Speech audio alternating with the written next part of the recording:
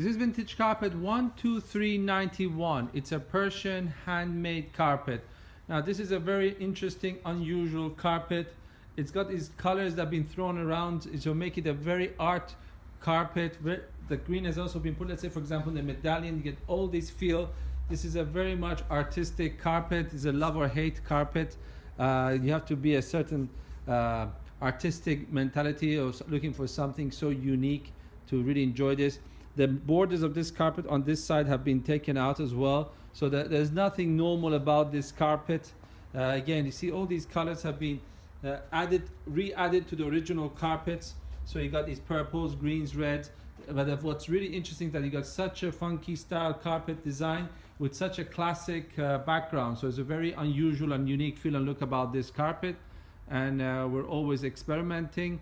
And if you have any further questions, we're happy to assist you.